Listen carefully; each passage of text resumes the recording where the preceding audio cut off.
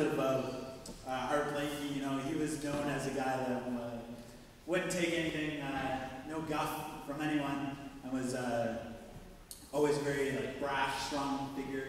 Uh, when I was uh, reading about Art Blakey, I read a story about him. He invited all his bandmates uh, to a, a little retreat out in the woods, and so like all these guys are in the city, they haven't really traveled out in the woods very much, so they go swimming, and they uh, are swimming, and all of a sudden there's this bear out there, and they're like, oh, oh what, do we do? What do we do? Like, there's a bear, and so Art, uh, being the strong-headed guy that he is, was he didn't wrestle the bear or anything, but he, he was able to corral the, the band uh, in his car and uh, scare the bear off by essentially uh, charging his car at it.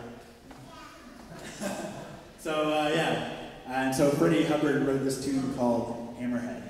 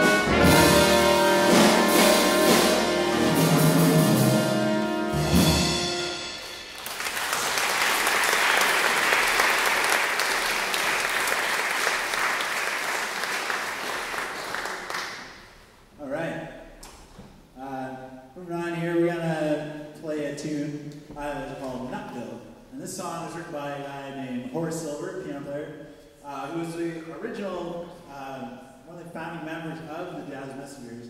Uh, he left to do uh, his own thing, but uh, he and Art Blakey made some great music together and uh, collaborated throughout their careers. Uh, but this is a tune of his. It's a great number, and we're gonna feature uh, hear a bit more from Tom Roach on the drums. So enjoy.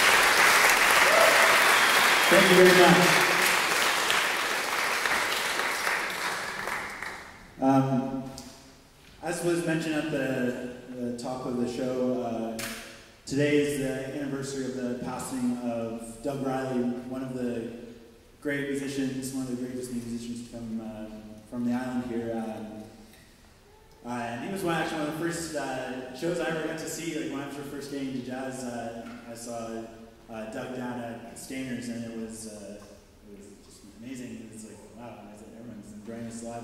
But uh, yeah, Chris Mitchell to say a few words uh, about Doug. I think you know very Thank well. you, thank you, Andrew. And, uh, my name is Chris Mitchell, and uh, I had the, the good fortune and, and pleasure, if, if you should indulge me for a couple of minutes, to speak about Doug. Uh, but I had the, the good pleasure of, of being Doug's uh, friend and, and a longtime companion musically, uh, as did a number of us up here uh, who either played with him or, or appreciated his music. And, and I just wanted, I just wanted to say a couple of things. Uh, as you know, as many of you uh, may know, uh, Doug chose to, to live here uh, uh, for a, a good part of his life uh, in his retirement, uh, and uh, uh, which was an amazing choice. And, and, and Doug, uh, there were a number of things about, for those of you who had the pleasure of knowing him, uh, Doug uh, loved music uh, very, very much. Doug loved life, he loved music, and he loved PEI, which is why he chose to be here. And his legacy lives on. Uh, Doug was just a very, very special person. You know, he, he's one of the greatest musicians that Canada has ever known, right? And, and if you know Doug's way, he was very quiet about that. He had a very quiet way about it. He was one of the greatest musicians that Canada ever, ever knew. Uh, and also, I think more importantly, Doug was one of the greatest people. You know, probably more importantly than, than, than he was a, musician. So uh, we're very lucky, uh, those of us who knew him personally, but for those of us to know his legacy uh, about Doug, and, and, especially his connection with the island here.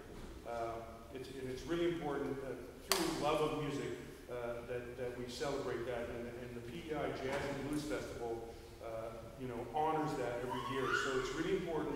Uh, Doug, Doug loved music, and those of you who saw him play, you knew you knew that. So it's really important that, that you know that you celebrate the PEI Jazz and Blues Festival and, and the legacy uh, that was Doug Riley. So um, I know that uh, uh, Tom Roach, he had, when Doug moved to the island, when he first moved to the island, the first song that he wrote on his piano out there in, in the eastern shore there was Tom's record. He played on Tom's record. So Tom knew his melodies well. Staples, whenever, you know, if I had a gig in Halifax, and I'd say, Doug, come and play, go, no, I can't make it. Get Staples to do it. So he, he, he loved it to have Staples uh, come and play. So, um, you know, on, and, I, and I had to, you know, the, the hardest gig I ever did, I was a musical director at, at his, at his uh, memorial at the Confederation Center. And uh, uh, he's, him and Doug and his family were very, very important people, and, and we're lucky to have known him uh, and celebrate his life. So this, this day, which happens at the Jazz Jazz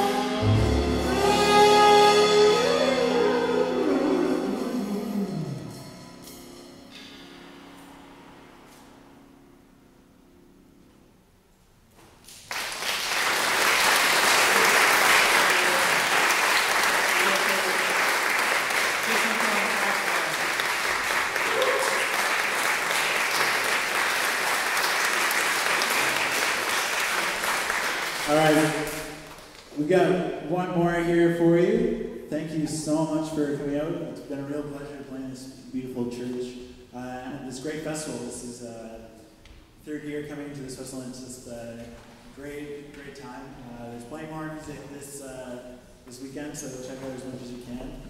Uh, thank you so much to the festival. Uh, thank you to Gardner, our, our sound technician, for the evenings. One last time, band. We got Chris Mitchell on saxophone. Matt Meyer on trumpet.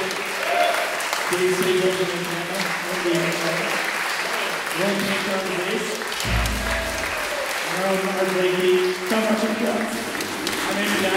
Thank you very much. This tune is uh, very, probably the most popular of the Blakey tunes. It was actually a tune that was inducted into the Music Hall of Fame. Uh, this is a song called Moanin'.